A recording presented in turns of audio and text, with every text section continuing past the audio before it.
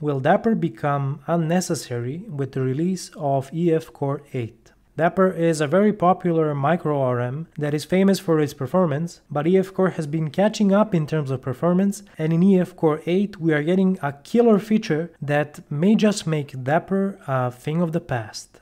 To show you what I'm talking about, we're going to add another feature to the application, and this is going to be a query to fetch the order together with the line items.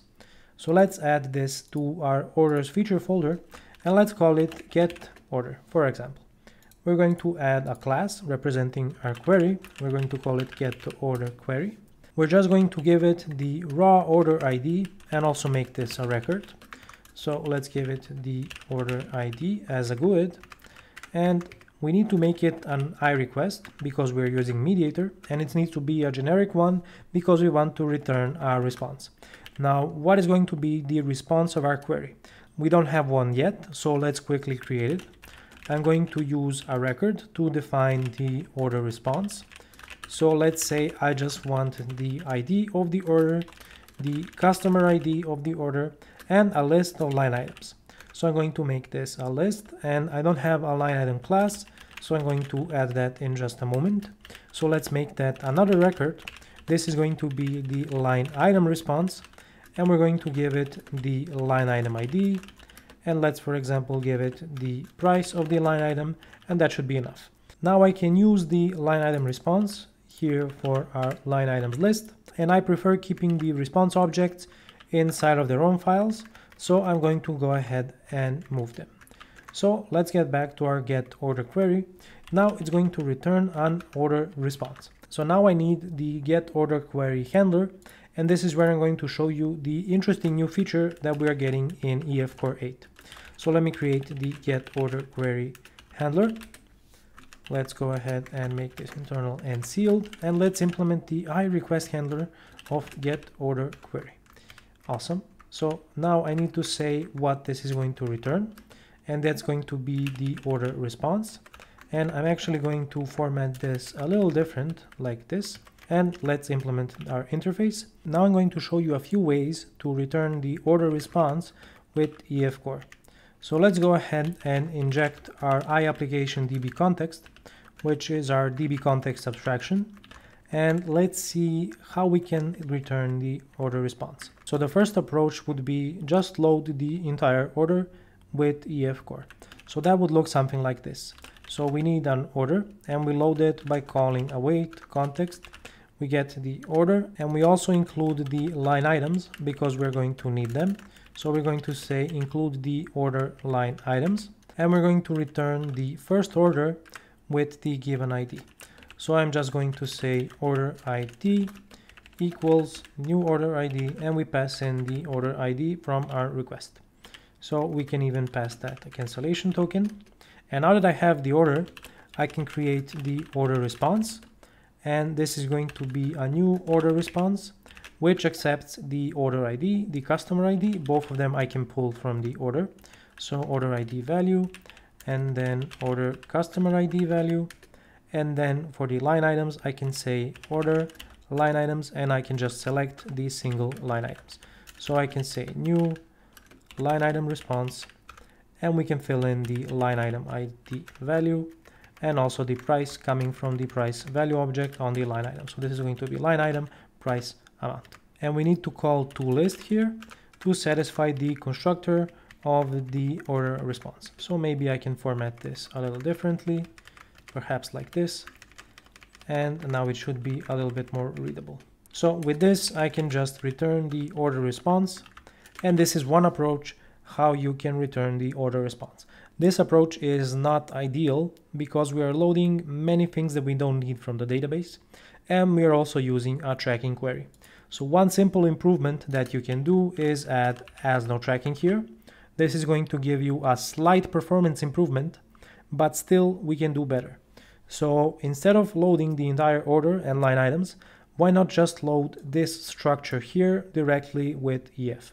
So you can do that and all you need to do is here, instead of selecting the line items and adding as no tracking, we can say orders and then select. And now I'm going to map the same structure here into the order response. So I can say order and we're going to get rid of this order here and make it into an order response and let me copy this because we're going to use it in our select statement so let's get rid of all of this okay and now let me just fix this up. This is going to return a new order response. So let me just try to format this a little better.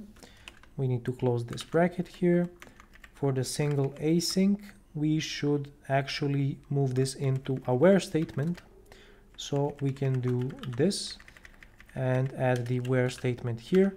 So now I can say the orders where the order ID equals new order ID and pass the one from our request.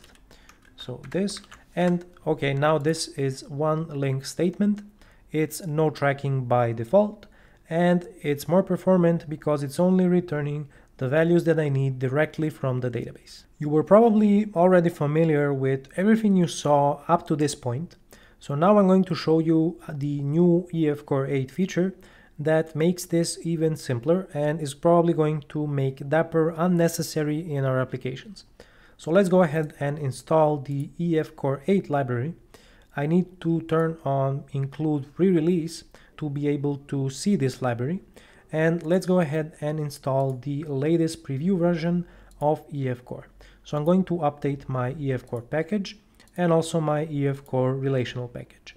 And now if I go back to my query handler, I'm going to show you how to write a SQL query with EF Core and return an unmapped type. We were not able to do this before EF Core 8, and this is pretty much exactly what Dapper does with its native SQL mapping from the database. I'm going to need to access the database facade instance, so I'm going to expand my iApplication context interface and add the database facade. So I'm going to say database facade. It's called database in our EF core DB context. So I'm going to give it exactly the same name and it only has a get property. If I go to my implementation, which is the application DB context, you'll see that there is nothing new to implement because it already contains the database facade as we defined it here. So now in my get order query handler, I can do something like this. I'm going to comment this out just so that we have the previous version and let me show you what you can do with EF Core 8. Let's go ahead and access our database facade and on it we have access to the SQL query and SQL Query Raw methods. In previous EF Core versions, you could only return scalar types from this method, such as integers, booleans, GUIDs, and so on.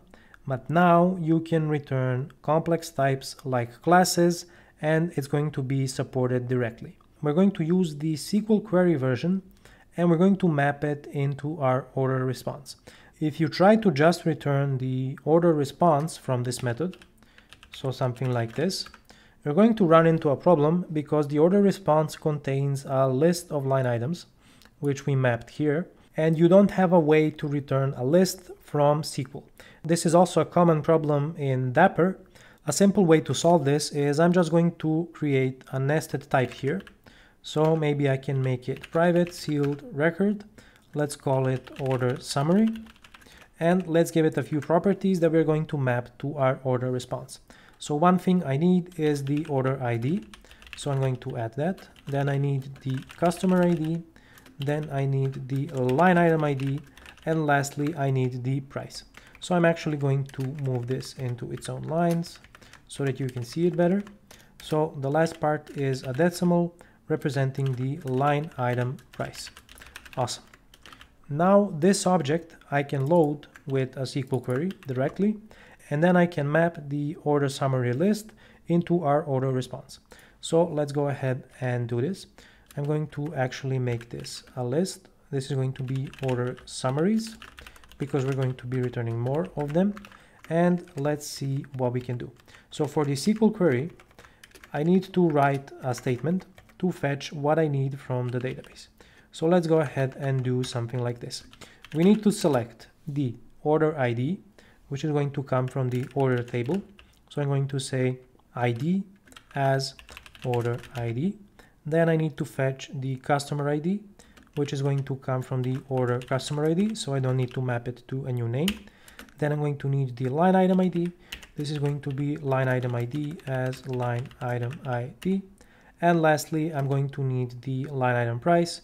This is going to be line item price amount because this is how the value objects is mapped into SQL. So as line item price. So this is a very long SQL statement. I apologize for that, but now we need to add a where statement, or rather we first need to add a from statement and then a where. So from orders, and I'm going to call it as O. So this is going to match here. And we're going to join on the line items table. So we're going to say join line items li and we're going to say join on the line item ID to match the order ID. So we're going to say line item order ID equals order ID. And lastly, I need my where statement to only return the order ID. So I'm going to say where, and I need an interpolated string here, and how you specify a parameter in the SQL query with EF Core is you just pass in the interpolated value. So I can pass in the request ID here, and this completes my query. So let's see what I did here. I wrote the typical SQL query as you would do with Dapper, but I'm returning an unmapped type. So this is a type that is not an EF Core entity.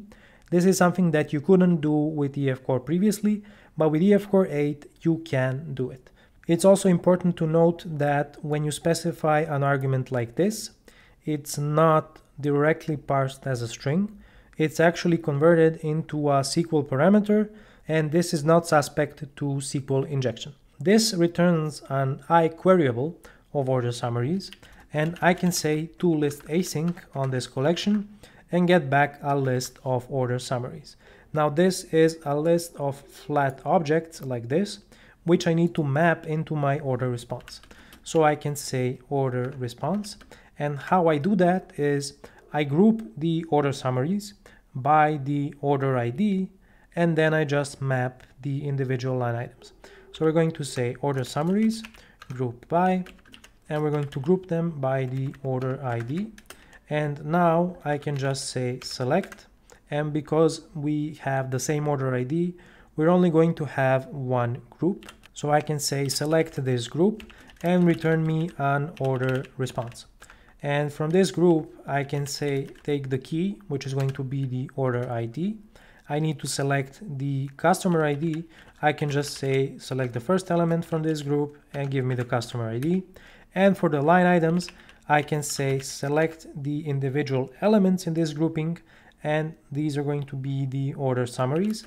And for each of them, we need to instantiate a new line item response and we can just say give me the line item ID and the line item price. And because this needs to be a list, I need to call to list. So this completes the select statement.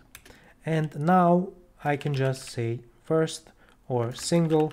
Probably single would be better because we want to make sure with our code that we only have one order response returned from the database. So this completes the implementation. So it's more verbose than this implementation here, but it's probably going to be more performant.